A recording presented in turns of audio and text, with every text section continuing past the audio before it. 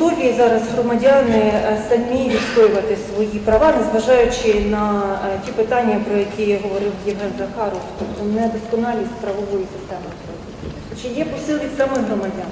Самі громадяни, звичайно, готові, хоча в Україні немає належної освіти з прав людини взагалі ні в школах, ні в університетах.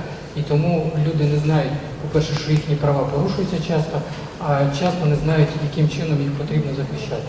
Але складніше і в тому, що система е, захисту не завжди працює. Коли ви звертаєтесь в український суд і після цього ваш процес триває 5 років, а після цього судове рішення не виконується ніколи, і досягнути о, цей приклад негативний для кожної людини. Очевидно, що в таких умовах бажаючих все менше і менше захищати свої права, але їх достатньо багато. Люди все одно борються, і багато з них досягають цілі. Це головне. І важливо, власне, чому проведення судової реформи є дуже важливим. По-перше, потрібно забезпечити незалежність судді. Тому що на сьогоднішній день суддя не є незалежним суб'єктом. Він залежить від голови суду, він е, залежить від е, прокурора, він залежить від дуже багатьох людей, які його фінансують, чи яким він адміністративно якимось чином підпорядковує. Потрібно визначити чітку систему відповідальності суддів, щоб е, е, ця система з однієї сторони не дозволяла впливати на них, а з іншої сторони, щоб були механізми знищувати ці випадки е, зловживання і корупції, які є в судовій системі.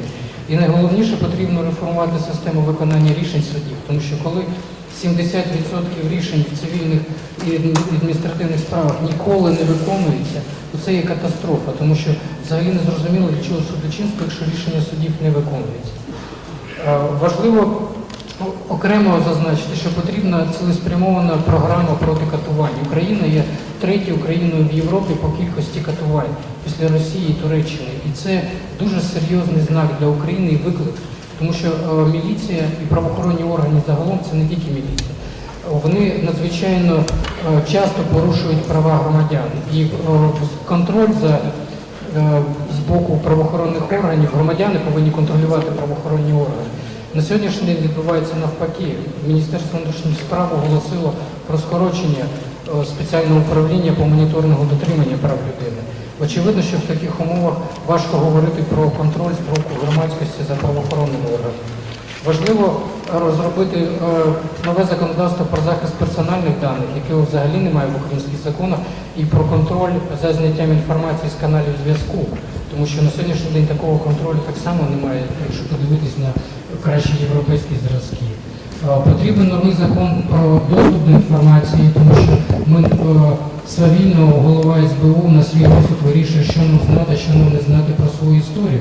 Він свавільно вирішує закривати архіви чи відкривати архіви. Очевидно, що так не повинно бути.